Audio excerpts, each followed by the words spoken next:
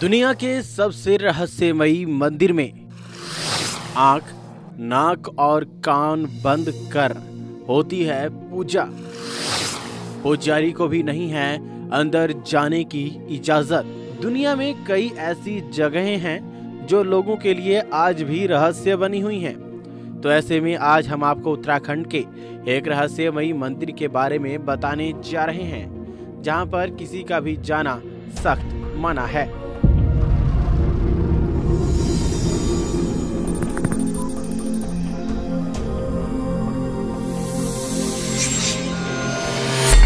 यहाँ गलती से भी अंदर मत चले जाना।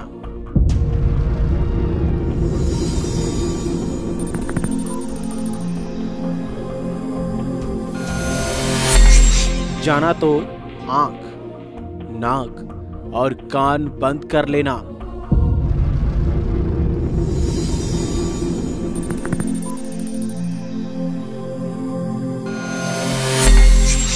अगर भगवान को देख लिया तो मच जाएगा।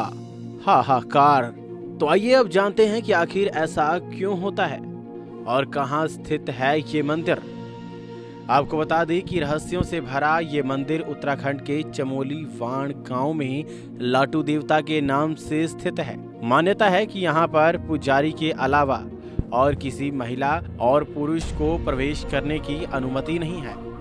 श्रद्धालु इस मंदिर परिसर से लगभग पचहत्तर फीट की दूरी पर रहकर पूजन करते हैं, क्योंकि स्थानीय लोगों का मानना है कि इस मंदिर में नागराज अपनी अद्भुत मणि के साथ रहते हैं। जैसे आम लोग नहीं देख सकते हैं, मणि के दर्शन करने पर आँखों की रोशनी जा सकती है, इसीलिए पुजारी आँख पर पट्टी बांधकर ही मंदिर में प्रवेश करता है। मान्यता है कि इस मंदिर के अंदर साक्षात रूप में नागराज अपने अद्भुत मणि के साथ वास करते हैं, जिसे देखना आम लोगों के वश की बात नहीं है।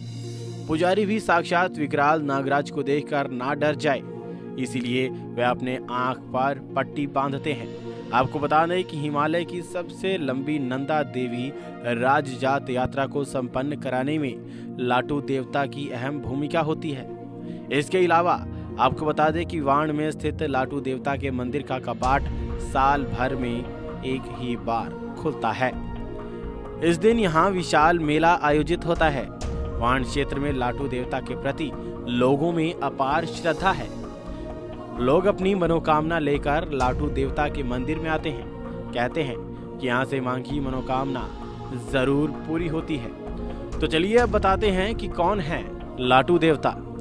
दरअसल लाटू देवता आराध्य देवी नंदा के धर्म भाई हैं। इसलिए नंदा देवी की यात्रा पूरी करने के लिए लाटू देवता के दर्शन करना बहुत ज़रूरी माना जाता है और इसका कथन एक पौराणिक कथा में मिलता है। पौराणिक कथाओं के अनुसार लाटू कनौज के गौड़ ब्राह्मण थे। जो माँ नंदा के दर्शन के लिए कैलाश पर्वत की यात्रा पर चले थे। वे जब वाण गाँव में पहुँचे तो वहाँ उनको प्यास लगी। उन्होंने वहाँ एक घर में महिला से पानी मांगा। महिला रजुसला थी। इसलिए महिला ने ब्राह्मण से कहा कि उस कमरे में तीन घड़े हैं। उनमें से एक घड़े में पानी है, पी लीजिए। ब्राह्मण ने पानी की जगह मदरा पी लिया। ब्राह्मण नशे में ज़मीन पर गिर गए और उनकी जीभ कट गई। खून ज़मीन पर गिरते ही माँ नंदा ने दर्शन दिए और कहा कि तुम मेरे धर्म भाई हो। और कहा कि मेरी यात्रा का यहाँ से आगे का हेमकुंड तक तुम अगुआ रहेगा। भक्त, मेरी पूजा से पहले तुम्हारी पूजा करेंगे। कैसी लगी आपको ये हमारी वीडियो? हमें कमेंट करके ज़रूर बताएँ। और अगर हमारी वीडियो पसंद आई हो तो लाइक, शेयर ज़रूर करें। और इसी तरह की जानकारियाँ प्राप्त करने के लिए जुड़े रहें हमारे कुंडली टीवी से।